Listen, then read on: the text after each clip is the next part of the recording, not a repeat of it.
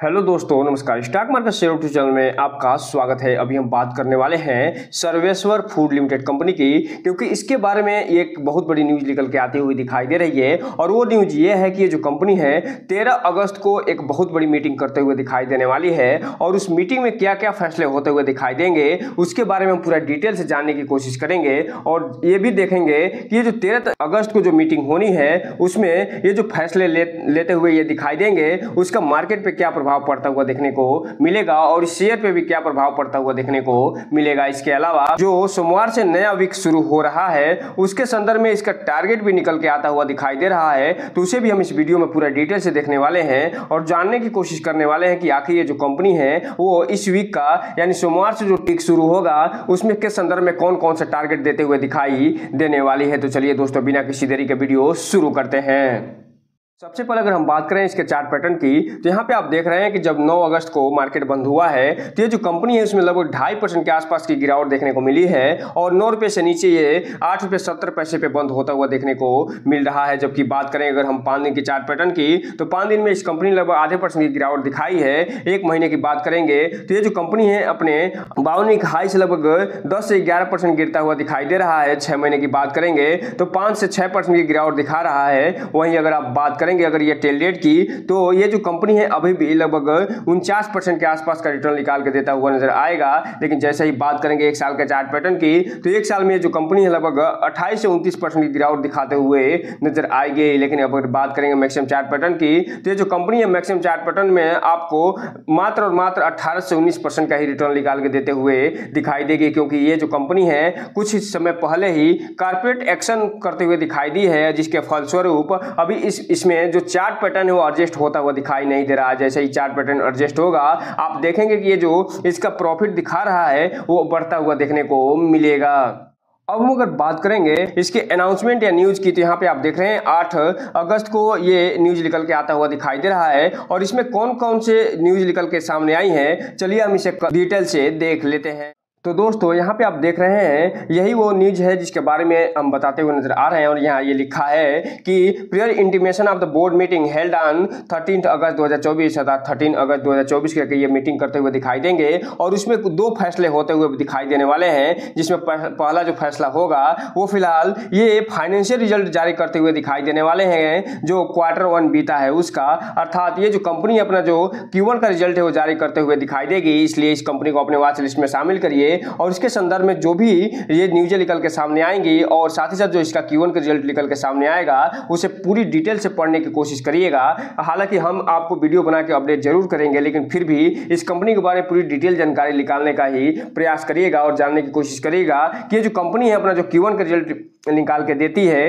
वो पॉजिटिव निकाल के देती है या निगेटिव अगर पॉजिटिव निकाल के देगी तो इस कंपनी में एक तरीके से ये कंपनी रॉकेट बनते हुए दिखाई दे सकती है। लेकिन अगर ये निगेटिव दिखाई दी तो ये गिरावट भी अच्छी खासी दिखाते हुए भी नज़र आ सकती है। इसके अलावा ये जो कंपनी है अपने बिज़नेस ग्रोथ को बढ़ाने के लिए एक बहुत बड़ा प्लान लेके चल रही है और उसके संदर्भ में ये फंड रेजिंग से संबंधित कुछ निर्णय भी लेते हुए दिखाई दे सकती है और ये किस माध्यम से फंड रेजिंग करते हुए दिखाई देगी, इसके बारे में भी ये आगे बताते हुए नज़र आ रहे हैं कि ये जो कंपनी है, जो जो फर्दर पब्लिक इशू है या डेप्ट सिक्योरिटीज है, इसके अलावा जो प्रेफरेंशियल इशू है राइट इशू है, इसके अलावा जो अदर अन्य जो भी ऑप्शन होंगे, उसके थ्रू आने वाले समय में ये फंड रेजिंग करते हुए दिखाई देगी और इसके संदर्भ में जो 13 अगस्त को मीटिंग होनी है, उस दिन चर्चा होते हुए दिखाई देगी और हो सकता है कि इसके संदर्भ में डिटेल भी निकल के आता हुआ देखने को मिल जाए। वहीं अगर तीसरे इसमें पॉइंट की बात करें तो जो तेरह अगस्त को मीटिंग होनी है, उसमें जो भी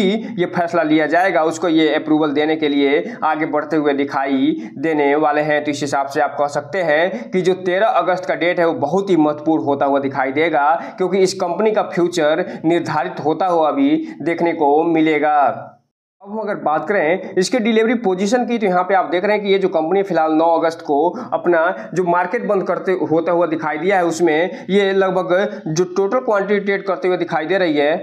वो फ़िलहाल दस लाख अठहत्तर हज़ार सात सौ बहत्तर शेयरों का टोटल क्वांटिटी ट्रेड करते हुए दिखाई दे रही है बीएससी पे, जिसमें से सात लाख पैंतालीस हज़ार जो शेयर है डिलीवरी के रूप में उठते हुए दिखाई दे रहे हैं, जो कि उनहत्तर परसेंट के आसपास होते हैं, जो ये बता रहे हैं कि भले ही इस कंपनी के संदर्भ में पिछले कुछ दिनों से न्यूज़ें निकल के आती हुई दिखाई नहीं दे रही हैं। उसके बावजूद भी जो इन्वेस्टर हैं, उसमें अच्छा खासा माल उठाते हुए दिखाई दे रहे हैं और लगभग सत्तर परसेंट के आसपास माल उठाया जाना किसी भी छोटी कंपनी में अच्छा खासा मायने रखता है। हालाँकि इसमें ट्रेडर भी हावी होते हुए दिखाई दे रहे हैं और लगभग तीस परसेंट के आसपास ट्रेडर भी इस प्रॉफिट लेकर निकलते हुए देखने को मिल रहे हैं। इसलिए जो भी रिटेल इन्वेस्टर उनसे एक चीज़ कहना चाहेंगे कि इसमें कोई भी इन्वेस्टमेंट करने से पहले अपने वित्तीय सलाहकार से संपर्क ज़रूर करिएगा।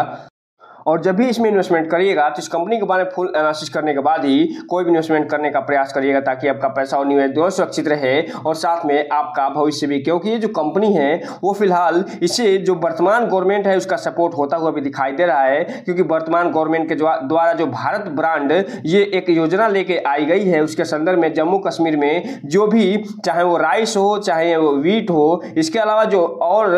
जो भी प्रोडक्ट है भारत ब्रांड के अंदर, वो जम्मू कश्मीर के में इसी के थ्रू बढ़ता हुआ दिखाई देने वाला है। बात करें, इसके जो अगला वीक शुरू हो रहा है, उसमें जो सोमवार से नया ट्रेडिंग सेशन शुरू होगा, उसके संदर्भ में कौन कौन से टारगेट दिए जा रहे हैं तो यहाँ पे आप देख रहे हैं कि चूँकि ये जो कंपनी है, नौ रुपये से नीचे ट्रेड करते हुए दिखाई दे रही है, इसलिए जो फ़र्स्ट अप टारगेट दिया जा रहा है, वो नौ रुपये उनचास पैसे का दिया जा रहा है, और ये इस आधार पर दिया जा रहा है, क्योंकि जो अगला सप्ताह शुरू हो रहा है, उसी सप्ताह में इसका क्यू का जो रिज़ल्ट है, वो भी आता हुआ दिखाई देगा, और अगर ये जो कंपनी पॉजिटिव रिज़ल्ट निकाल के दे दी तो ये जो साढ़े नौ रुपए के आसपास का ये टारगेट दिया जा रहा है, उसे तोड़ते हुए भी दिखाई दे सकती है। और जो सेकंड अप टारगेट है, नौ रुपये सतहत्तर पैसे का, उसे भी तोड़ते हुए देखने को मिल सकती है। और जो थर्ड अप टारगेट है, दस रुपया, और जो फोर्थ अप टारगेट है, दस रुपये पचास पैसे का, उसके तरफ़ बढ़ते हुए भी देखने को मिल सकती है। जबकि बात करें अगर हम डाउन टारगेट की तो अगर इसका जो क्यू का रिज़ल्ट है निगेटिव आता हुआ दिखाई देगा तो हो सकता है इसमें गिरावट भी आते हुए दिखाई दे जाए। और वर्तमान में जो ये आठ रुपये सत्तर पैसे के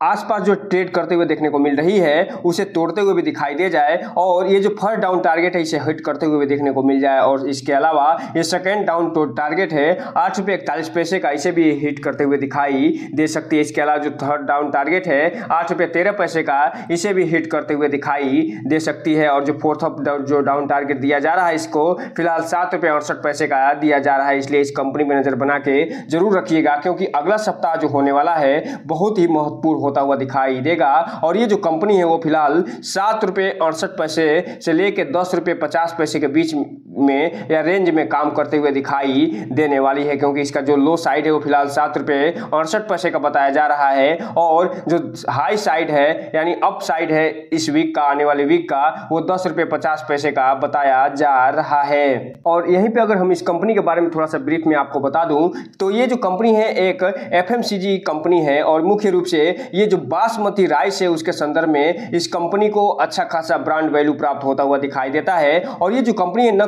इंडिया में अपना कारोबार करते हुए दिखाई देती है, बल्कि विदेशों में भी अपना अच्छा खासा कारोबार करते हुए देखने को मिलती है। और साथ ही साथ, ये जो कंपनी है, अभी हाल ही में बासमती राइस के संदर्भ में एक जीआई टैग भी प्राप्त करते हुए दिखाई दी है, जिसके बारे में हमने पूरा